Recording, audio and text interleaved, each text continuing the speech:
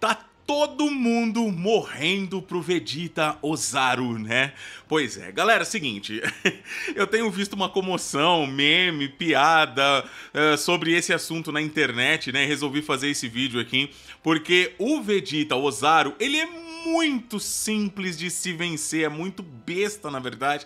Só que, assim como você que tá apanhando muito, eu também apanhei pra caramba, até que na live alguém falou, não, Kalil, é só você fazer isso, isso, isso, você mata ele de primeira. E galera, é tão bobo. Ó, primeira coisa, não vá lutar contra ele no mano a mano seres gigantes você não enfrenta no mano a mano, tá? Você tem que manter só na magia. Nesse caso aqui, é só no Kamehameha. Ah, Kalil, mas eu tento magia tal. Você tá tentando na hora errada. Tem um momento exato para você atacar e que ele fica completamente vulnerável. E eu vou mostrar para você. Hoje você passa do Vegeta ao Ozaru, beleza? É o seguinte, ó. Ele vai ficar nesse aqui, ó. Nesse tcheque dele aqui, ó.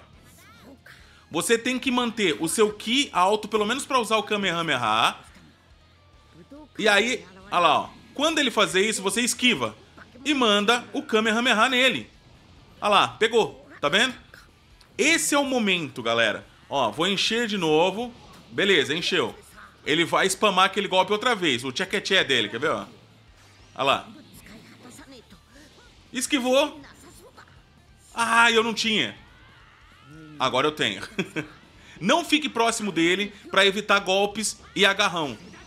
Ó, o tchaquetê dele, ó. Esquivou, mandou. É isso, cara. É só você fazer isso a luta inteira, ó. Enche de novo, mantenha-se longe dele, olha lá, ó. Ele não para de fazer isso, ó. Esquivou. Pegou de novo. É só isso, cara. Pare de sofrer no Vegeta Macaco, mano.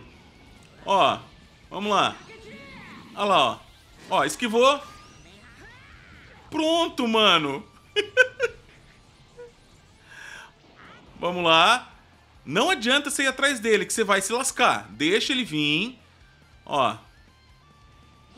Deixa ele vir. Fique longe. Daqui a pouco ele vai meter o tchequetché de novo. Só esperar, mano. Olha lá. Esquivou. Mandou, velho. Acabou o macaco. Cadê o macaco? Tem gente pedindo pra nerfar o boneco. Não precisa, velho. Olha lá, ó. Esquivou.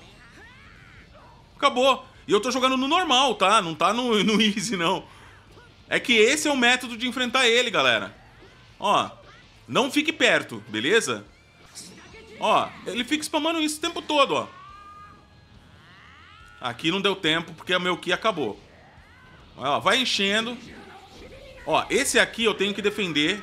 Esse aqui eu não consigo escapar. Beleza, daqui a pouco ele vai meter de novo o tchequeté, ó. Quer ver? É só fazer isso, mano. Olha lá, o tchequeté. Esquivou.